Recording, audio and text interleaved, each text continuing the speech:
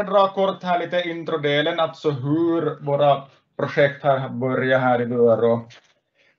Vi hade ju som här en sån där lite gammal IKT-strategi som skulle uppdateras här 2020 började vi på med en liten sammanställd en grupp här som ska fundera på en ny IKT-strategi och vi valde då att satsa helt nytt. Vi ville inte ha någon sån där A4-dokument som blir mappad i någon hylla, utan vi ville ha våran lärstig väldigt synlig ute i skolorna.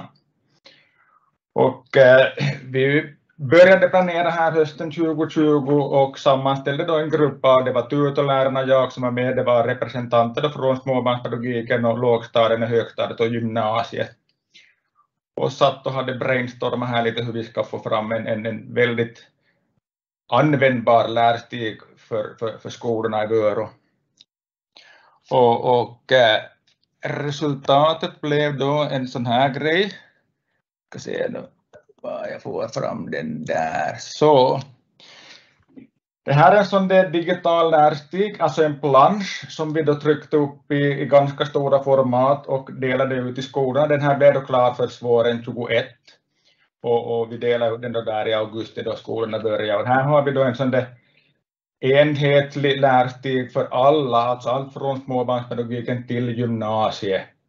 Med lite, lite mål och innehåll där vad, vad vi ska gå igenom och om det, det är väldigt smått kanske på våra skärmar, men vi har några färgprickar här och där som ni ser och det är då anknutet till den här årsklockan som vi har, så de här blå prickarna då så, så anknyter då till Microsoft 365 som vi då börjar med här på, på skolstarten.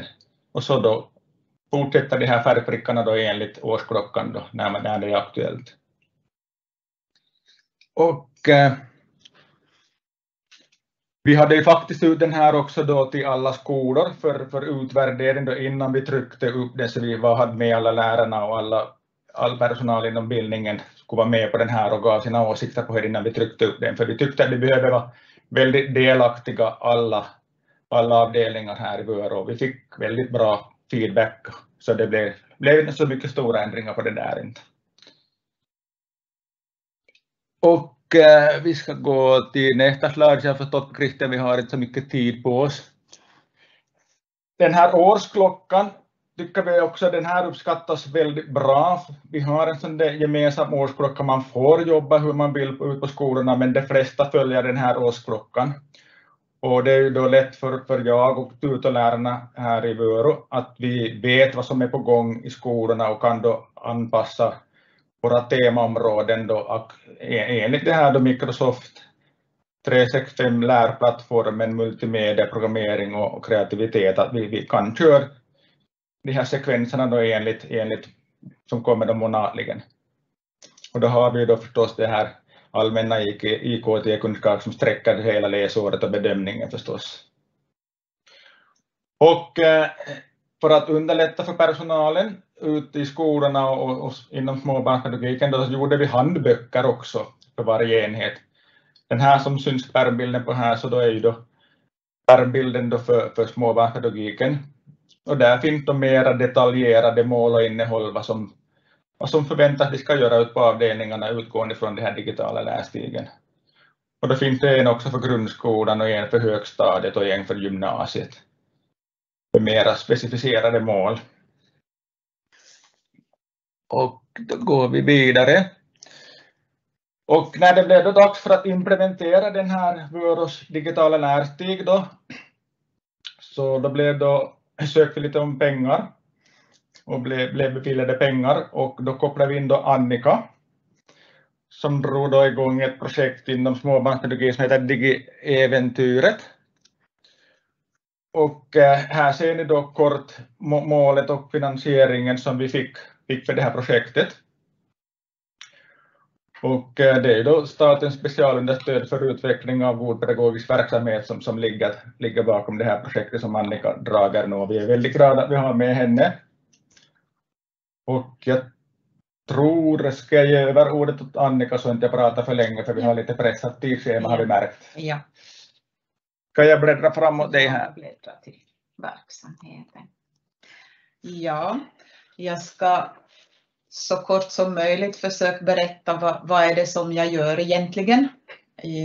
den här handboken så Eh, Eh, vi började i augusti med att göra en kartläggning ut till pedagogerna just med kartlägga IKT-kunskaperna och fick med där deras önskemål och behov. Och utgående från den, som jag tycker har varit ett väldigt bra verktyg att börja från, så kan jag då ge stöd och handledning till pedagogerna och jag erbjuder verktyg, material, tips, idéer. Jag ordnar digikaféer och, och också workshops i barngrupperna så alltså att både barn och pedagoger kan lära tillsammans och ha roligt och samtidigt. Vi använder eh, den digitala plattformen Prion som vi har för dokumentation och kommunikation mellan daghem och vårdnadshavare. Och det ger ju förstås ökad delaktighet till vårdnadshavarna. I prion har vi också, eh, barnen har egna grupper, de har avdelningsgrupper, men vi har också personalgrupper som jag kan använda mig av att liksom dela direkt ut i avdelningarna tips på appar eller material eller liksom sånt som är aktuellt. Eh, vi har köpt in iPads och vi har köpt in programmeringsverktyg som är mer anpassade att användas i småbarnspedagogiken också som med tanke på att användas också utomhus och många olika områden. Uh, förstås så är samarbete och kommunikation det en förutsättning. Vi har uh, regelbundna möten och diskussioner och just för att få den här röda tråden med hela vägen och att, att alla är delaktiga så får du in. Och digitala verktygen så ger mervärde. Vi lägger alltså till digitala verktyg till verksamheten som redan är på gång på avdelningarna. Till exempel kreativitet, samarbete, kommunikation, logiskt tänkande, problemlösning. Det är ju sådana förmågor som barnen övar på samma gång som de får möjligheter att bekanta sig med digitala verktyg, att vi försöker hela tiden koppla in det till det som vi redan håller på med. Och att vi ska ha roligt och också uh, att leken är viktig hela tiden. Mm. Vi går vidare till nästa. Jag försöker inspirera på många olika sätt som jag redan sa via inspirationsbrev, via tips och material. Förra veckan så, så delade jag ut just den här handboken Stiga till medieläskunnighet i alla avdelningar och i prion så liksom synliggör de eh, för föräldrarna och för, för varandra också att hur man på olika sätt jobbar med, med digitala verktyg. Ehm, likadant inspirerat i att, att barnen kan vara kreativa till sagor, QR-koder, rörelsesånger, filmer och de gör filmer och vi får snögubbar som de har byggt ut på gården att prata och, och liksom så får du byta. Så får du gå vidare. Mm. Mm. Nästa där. Vinterutmaningen är någonting som vi har på gång nu i januari och februari och där är nog syftet att barnen ska få vara kreativa. Det är kanske processerna som, som är det viktigaste, att resultatet så det kommer och det kommer och det är helt okej okay att man lyckas men också helt okej okay att man misslyckas och att liksom huvudsaken att vi, vi vågar testa och pröva på och att barnen får vara delaktiga.